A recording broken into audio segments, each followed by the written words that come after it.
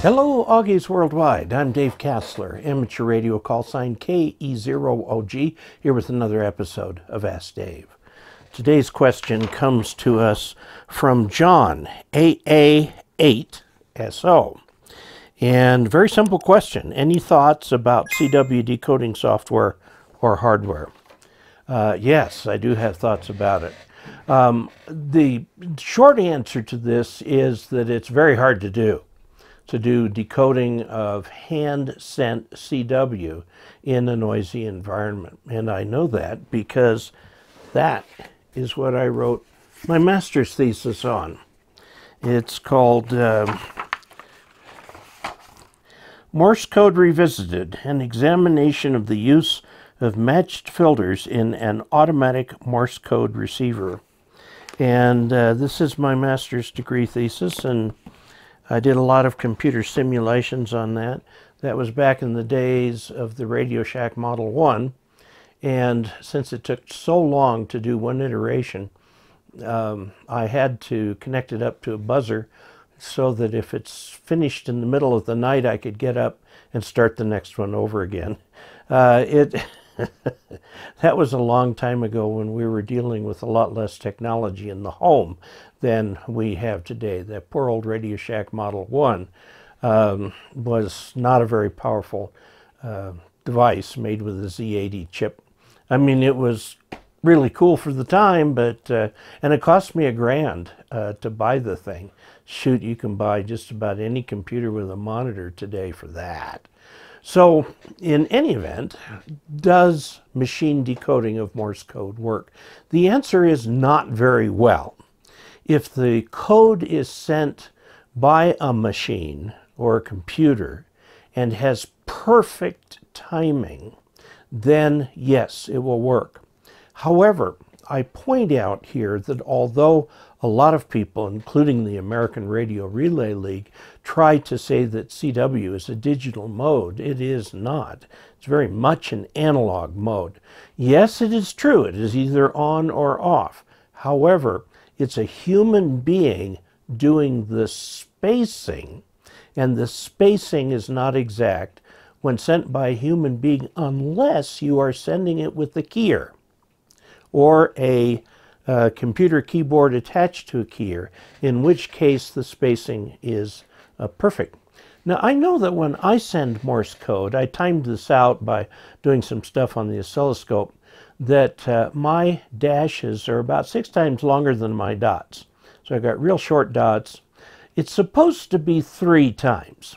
So if you've got a machine that's trying to discern between a dot and a dash, it can really be a problem. Another thing that is a problem is that a lot of people, including me, put extra space between characters and words. The official Morse code timing for that is that uh, between dits and dahs, there's a dit worth of space. And between uh, letters, there's a dah worth of space. Well, that means steady, sending the code at a very steady uh, rate humans don't do that. They tend to send the characters and then put a little extra uh, space in there. And it confuses the machine. So if the machine receives dit, is that an E or is that a T? You only know if you know the speed at which the Morse code is being sent. Now, if you hear a longer letter like did it, that's S, okay? And da, da, da is O, but remember the inter-element space is only a dit worth. So it's, it's easy if you've got ears listening. A da, da, da has very little space in between the elements, whereas dit, dit, dit has the same space and it's the same size as the elements. That's really weird. But the, the net of it is that CW is an analog mode because it is sent by human beings who use analog real world timing. No human sends perfect Morse code unless you're using a keyboard or something like that that will space out the characters exactly. Now on my old radio up there, that is my uh, Yaesu FTDX 3000 right here. That's a very fine radio. It's not an entry level radio. And um, it will attempt machine decoding of Morse code. It's got pretty cool in there. This old Ten-Tec uh, with the updated mod in it will uh, also do attempt a decoding of Morse code. This ancient FT101B from Yaesu is too ancient to have anything in it, any computer or anything like that that would even attempt uh, to do Morse code, but these two do try. Now, the Yaesu, not Yaesu, ICOM, this is the um, reference station radio, is the ICOM 7300. And this does not have a Morse code decoder in it that I've been able to find. So you have to do it by listening.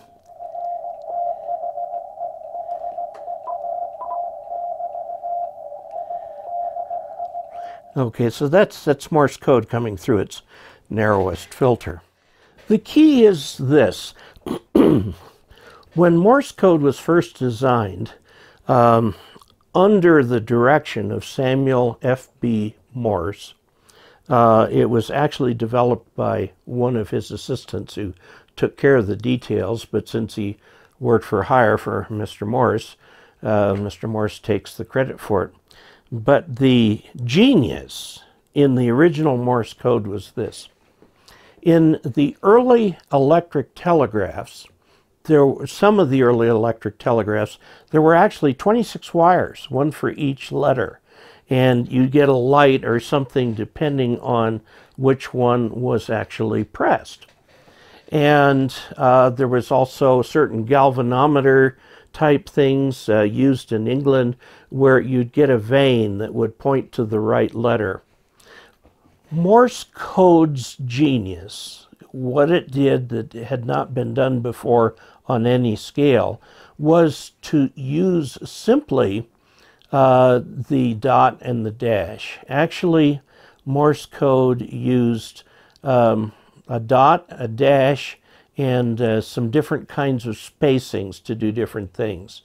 Uh, for example, the old Morse code uh, used by telegraphers in the railroad era for an ampersand is dit, dit, dit, which we use today as a shortcut for the word and uh, which the ampersand was used in formal communication back then. Uh, so the genius was two different code elements. So you only needed one line. And what would happen in the Morse is that a pen would come down on the paper and mark when there was a closed connection and go up when there was no connection. And it would actually write it out on a paper tape, and then the operator would come back and decipher that, write it down. Well, operators soon learned that the machine made a particular rhythmic noise, and if it, uh, you know, it would go click when it came down and a slightly different kind of click when it went up. And they would hear all of these clicks and could determine by their ears what was being sent. And this could be done on over only one wire. They used earth return at the time. Uh, later they went to a balanced line, but uh, uh, that was quite a bit later. So um, the thing about that was it was cheap to string one wire. The sending and receiving apparatus was fairly simple because at the time it was a key and a sounder. Now a sounder just did click, on closing the circuit and a click. So an S would be click, click, click, click, click, click. Okay. And O would be click, click, click, click, click, click, click, and then back. Um, and I have never learned to uh, hear Morse code that way. Now, the idea of using Morse code as a, a sound was uh, something that came up from uh, the original um, spark. You could hear in the radio a spark, a bzzz, like that, bzzz, and that could be used to send the code. After a while, they used tubes to make, instead of spark type waves, make continuous waves, which had a very pure note like you hear on the air today. Okay? Now, the problem with machine decoding is that it just has a very, very hard time following the timing. It's very difficult if it gets one letter.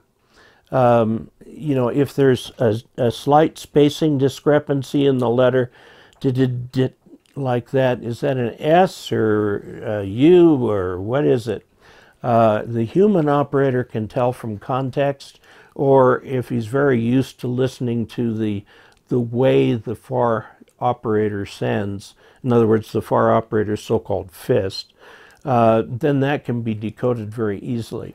So Morse code was designed for wetware to send to wetware, okay, uh, after they got rid of the tape and just did the sounder. And uh, you, uh, uh, the um, sounders are available on the antique market, and I've heard people who've put these back together just to play with them. By the way, the Morse code used on the railroad is different than the Morse code used on radio. In radio, we use what is a derivative of the German code um, and, and so you don't have weird spacings in the letters like the old uh, American railroad code uh, used to use. So the bottom line is that there are no good machine decoders of Morse code. If the Morse is sent like from a computer keyboard or something like that where you get a very steady stream of beautifully shaped code, yes, yes, you can do a pretty good job of decoding that, although not in noise. Okay, so the bottom line to your question is, any thoughts about CW decoding software or hardware is that it has not gotten to the point where it's useful. Now, there are uh, things like reverse beacon network and so on that do attempt to decode. If you send your call sign really, really carefully, it will pick it up. Uh, the uh, other thing that's on the horizon, if somebody wants to put their mind to this, is there's no money in it, so I don't know if anybody will, but artificial intelligence can take a human sent Morse code stream and uh, pull out of it uh, the intelligence that was intended to be in there. And I look forward to somebody doing that.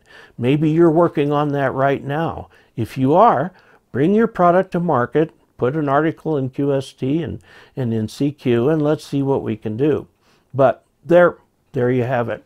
It's a complex topic. I got my master's thesis uh, based on that, and uh, I can tell you that it's a very hard thing to do. So there you have it. Please also check out Patreon. Uh, the uh, URL is shown below at www.patreon, P-A-T-R-E-O-N dot com slash K-E-0-O-G. We'll take you right to Patreon. And until we next meet, 73.